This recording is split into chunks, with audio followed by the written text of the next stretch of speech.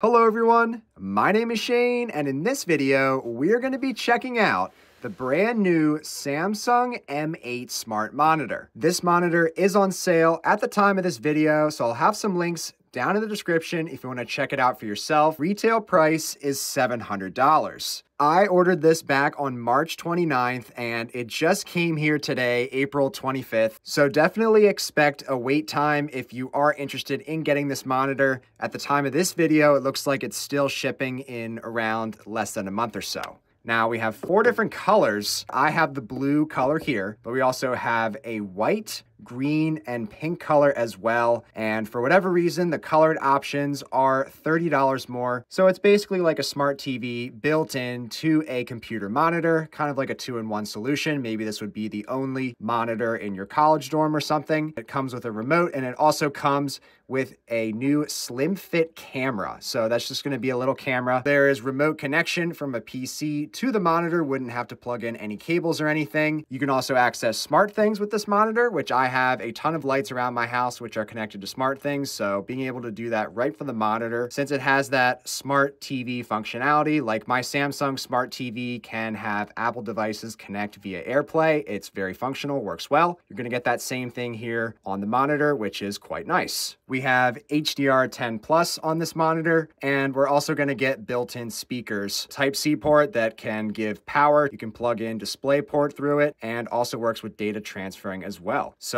lots of stuff here going on with the Samsung M8 monitor. I'm super excited to check it out with you guys. Again, we have the blue color here.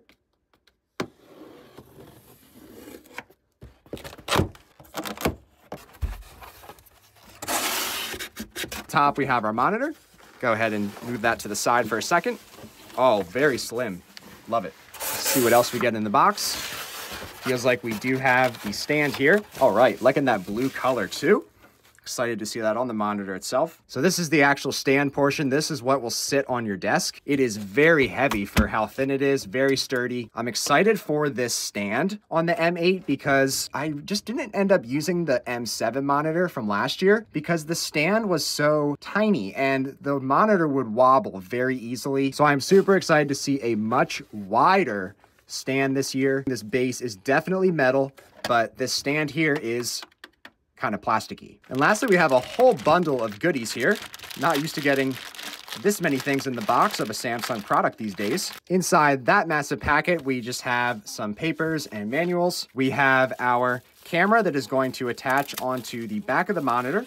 And then there's also a little Type-C adapter that goes with that as well. Speaking of power, this is our power plug and this is the pretty beefy power brick. We have a Type-C to Type-C cable. We also have what looks to be a HDMI to micro HDMI, so we'll check out the ports on this monitor in a second. And then we have our remote. I wish there was a YouTube button, but not here on this one. We have a Netflix, Disney Plus, Prime Video, and Samsung TV Plus buttons.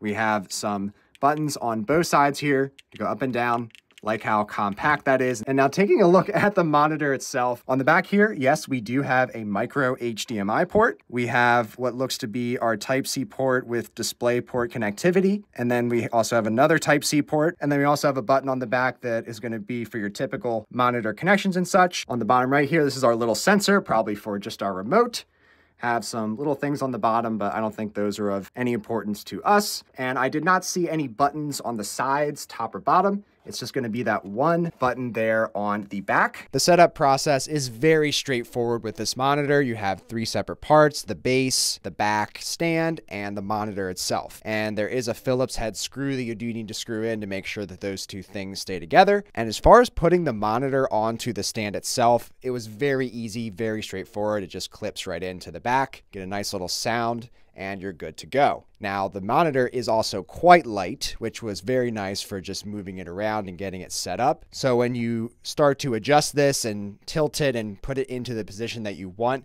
just be mindful of grabbing the left and right sides. You'll do that out of instinct and it might flex a little bit, but if you adjust it from the top and the bottom, you should have no problems at all there. Taking a physical tour around the M8 monitor, we have a little bit of Samsung branding on the left side on the back. There are these designs that go across the entire back of the monitor and the back of the stand. And there are speaker grills on the left and right sides. Have a very nice blue color here. But overall, first impressions from a physical standpoint, I'm very impressed. It's a very nice looking display and just monitor in general on the table. It kind of looks like an M1 iMac, but better. All right, taking our first look here now at the Samsung M8 monitor. Very slim bezels around the outside and very easy to turn on and get going. Just had to plug in the one power cable and just press the power button on the remote. You have two options of how you would like to set up your monitor. The setup did not work on the SmartThings app on my smartphone, so it referred me over to setting up with just the remote control. So we're going to connect to the Wi-Fi here. Next, you can set up your voice controls.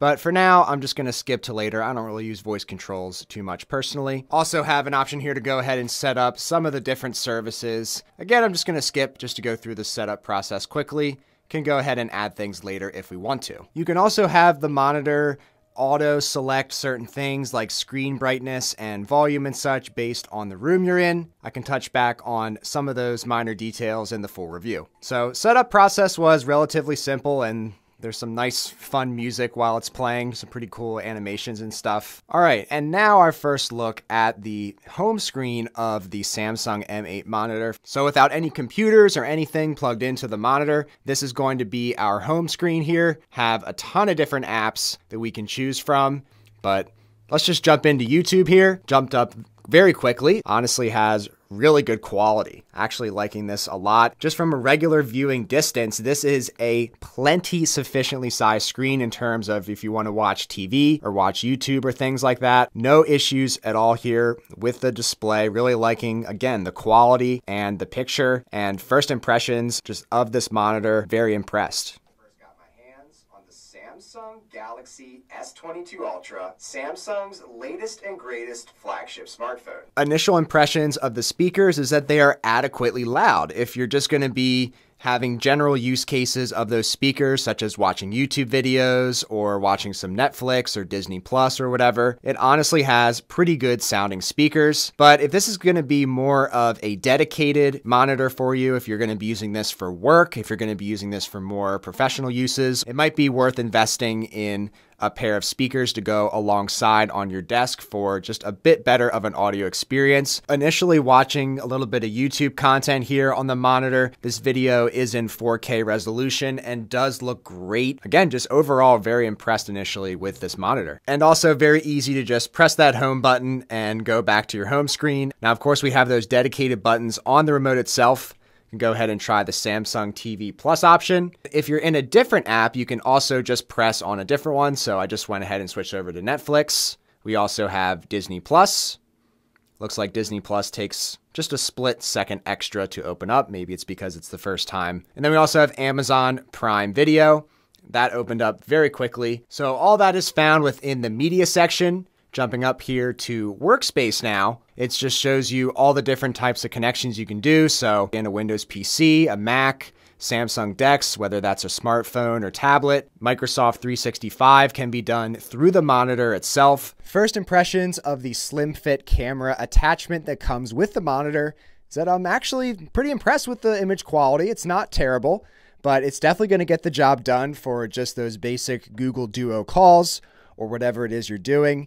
It does have a nice red LED indicator light to let you know when it is indeed on and recording. But yeah, overall, initially really liking the image quality and the included camera for free that comes with the monitor. And it doesn't look all too intrusive on the top of the monitor, doesn't take up that much more space or anything. Really matches the minimal aesthetic look of this monitor. And after using it for about a day now, I'm really liking the overall experience and the added function functionality that this monitor provides over just a standard monitor. I'm so used to just using a regular monitor that you have to plug something into it to be able to get use out of it, but you're getting use of this straight out of the box, not even needing to have a computer necessarily to go with it. And on top of that, just having a great image quality with the UHD 4K and the 32 inch screen size is excellent to have between a ratio of using this for TV and media consumption and movie watching use, in addition to the productivity use, getting additional productivity from that larger size as well. And just a very nice, minimal looking display, despite having such a large screen size. It doesn't take up all that much space because the bezels are so thin. All things considered, for the price, initially, really happy here with the Samsung M8 monitor. Definitely going to be playing around with it for the next week. Going to be plugging in PC, Mac, try out some more DeX, just use some of the core functionalities of the monitor itself. And I'll come back to you guys with my full review, but super excited to bring you guys some more content on this monitor. So make sure to like and subscribe, and I will see you guys for the next video. Thanks so much for watching. Take care.